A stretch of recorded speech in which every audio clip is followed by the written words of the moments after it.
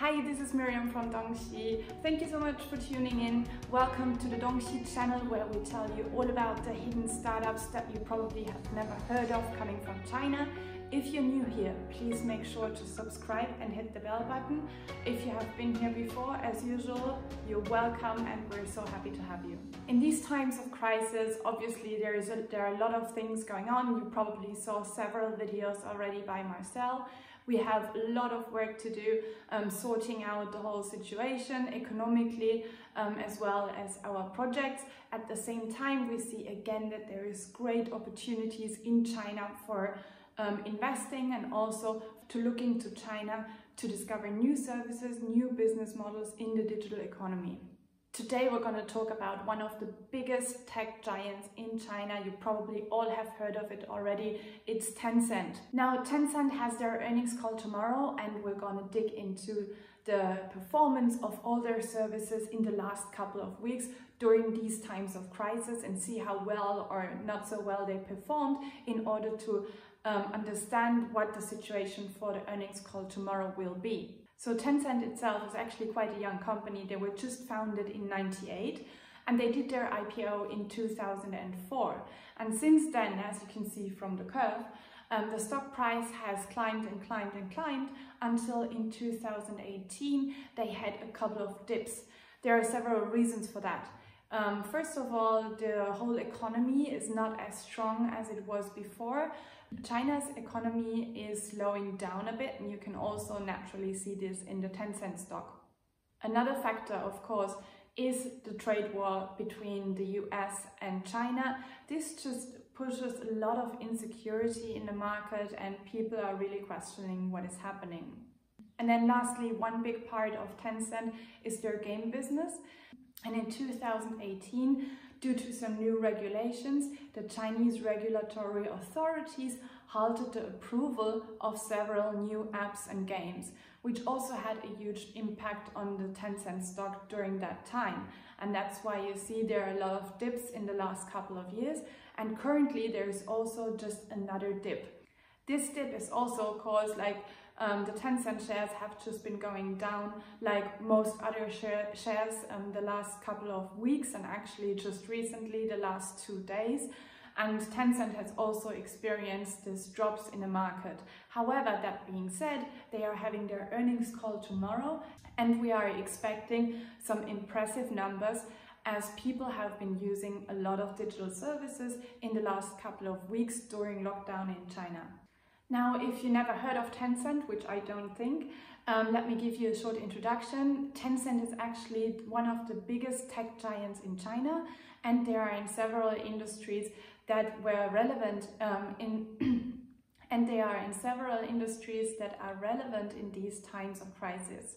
They are in social media, cloud computing, gaming, fintech, and very important these days in video streaming. Now let's look at these individual industries and areas where Tencent is providing some services or where they are somehow invested in. Overall, if we compare the overall screen time in China between last year and this year during um, the Chinese New Year time and just the period after, which was when the crisis really hit and people were forced to stay at home, during this time we saw an overall increase of screen time of 26%. This is a lot. And now let's break it down to the individual services. So first of all, let's look at the most obvious one, the thing that Tencent is known for the most, which is WeChat. WeChat as a messaging service has experienced a really, really proper growth um, during this time as people have been using the messaging service to keep in touch with the people in the outside world be it co-workers, be it their family, um, most of the services. So WeChat as a messaging service experienced quite some growth and the number of daily active users increased by more than 6% and the overall screen time um, on WeChat per day increased by 16 minutes. This is a lot considering the fact that people are using WeChat massively and extensively already all the time. So 16 minutes per day on top is quite a lot. And you can see that even after Chinese New Year, when people slowly went back to work, we see even more increase. Now the second area that we're going to look at is the new services. For Tencent News, we saw a stunning increase of almost 50% daily active users. The reason for that is quite obvious. People wanted to um, stay informed, they really were seeking the news, um, they were looking for proper information about how to behave and what's coming next. Now let's go to the third part. This is actually about gaming and you probably think, well, during the time that people are staying at home, they probably play a lot of games and Tencent is a huge player in this field. Actually, their two um, biggest and most famous games, Honor of Kings and Game for Peace, um, experienced some growth, but overall they didn't increase so much on the daily time spent. The reason for that is um, probably um, that people are more into live streaming these days and that the momentum of these games has slowed down a little bit and also maybe people were a little bit more preoccupied by the situation why they spent more time on um, reading and watching the news and maybe also going into other trends like live streaming. Next one are the short video apps. Short video is a huge trend in China right now. People love going on Douyin um, and Kuaishou and um, other video streaming and short video streaming apps and just browse through and get content pushed um, to be entertained um, and to watch what other people are actually doing. Now Kuaishou is quite popular um, amongst um, second, maybe even third to fourth tier cities, so in the more rural areas. And it's also um, a live streaming service that's not coming directly, or let's say a short video service um, that is not coming directly from um, Tencent itself. However, Tencent is heavily invested in this service in order to stay competitive to ByteDance, which is actually um, dominating this area currently. We also see an increase here. Um, the daily active users increased about 26%, which is not so much. And as you can also see, the curve is slowly going down again um, in comparison to the other areas and services that we looked at before. And I think this, but this is just my personal opinion, the winner in uh, the short video game these days is actually Douyin because Douyin's content is a little bit more um, polished and a little bit more curated and I can imagine that people jumped a little bit more from the um, Kuaishou service to the Douyin service and consumed both services. However, Douyin um, from ByteDance being a little bit more stable and at least in this area being the winner of the um, couple of days after Chinese uh, New Year where people stayed at home in lockdown. But the next area is again a game changer for Tencent. Um, now we're looking at the longer video platforms. Tencent Video is a video app or a video um, service where you can watch longer videos and you might see that there is um, a very constant growth. We see an increase of daily active users of around 8 to 9%. But what I find really, really interesting is the increase of the daily screen time in Tencent Video, which increased by 18 minutes.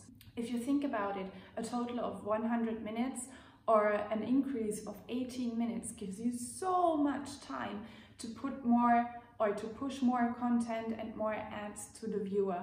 So I think Tencent Video really, really um, had a good time uh, during these days and really gained from the time that people um, stayed at home.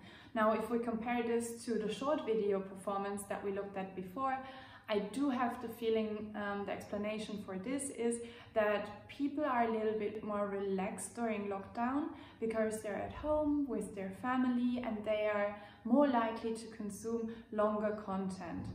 Whereas during normal times when they come home from work or at work or um, if they're on a commute, they just want to consume really short, quick content that entertains them and takes off their mind of the daily problems they might have at work or with their family.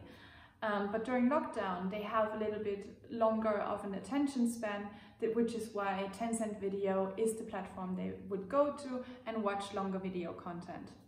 Now the next service is also a big winner. This is Yuan Fu Dao. This is actually um, a schooling app or an app that helps you with your homework. Um, and as um, the kids are staying home these days and get homeschooling, these kind of services are really sought after. So we see a huge peak of daily active users here. And I think this is definitely an area that we should look into more, especially in the next couple of weeks. Um, as other countries right now in Europe and probably also in America are facing um, lockdown as well, homeschooling is going to be a huge topic and we see a lot of really good services in this area already coming from China. Now, Yuan Fu Dao is a part of the Tencent Cosmos. It's not an app by Tencent itself. Now let's look at the last area, which is a fundamental area as well. Um, we look at the food situation. When you stay at home, you either need to get food delivered or you need to get the ingredients delivered to cook by yourself.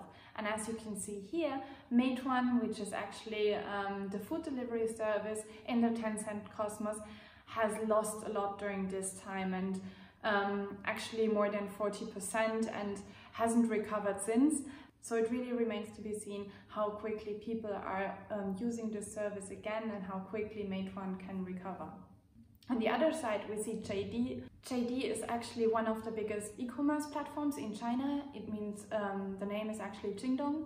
And uh, Jingdong Daojia or JD Daojia um, is the delivery service for fresh food. And we see again here as well. So as we can see, most of this, and we see again here as well, even though the increase wasn't much, but people, when they stayed at home, they ordered the food home to cook by themselves. So as we see, most of the services by Tencent actually gain popularity. We see a lot of more um, daily active users. We see um, an increase in the screen time. And this is a great potential that Tencent proved that they have.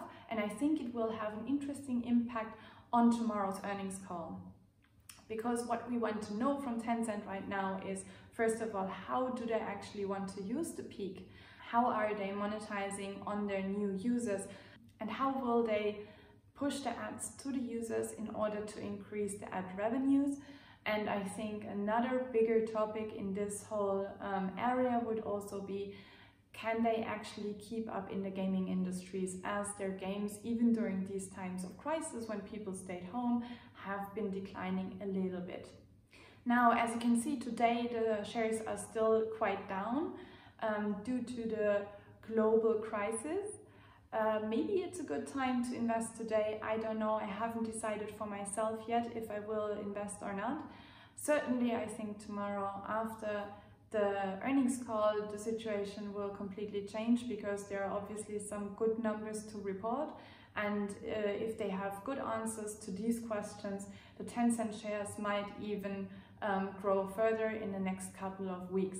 So in the long run, I think it makes totally sense to invest in Tencent. However, as you have seen in the last year, um, the share price was quite volatile. Maybe it's a good time to invest now. So we will certainly let you know how we are proceeding. If I bought Tencent or not, we will see next week in our next video. Um, thank you very much for tuning in. Looking forward to read all your comments, what you think about Tencent. Do you have Tencent shares? Will you be listening to the call? Um, please make sure to subscribe and stay tuned. There are many more companies and services that we're going to discuss in the next couple of days because right now this is really the time for China opportunity. If you're also on TikTok, please make sure to also follow us there. You can get our personal LinkedIn information in the comment section below. Stay healthy, stay safe, and hope to see you all soon. Thank you very much. Bye bye.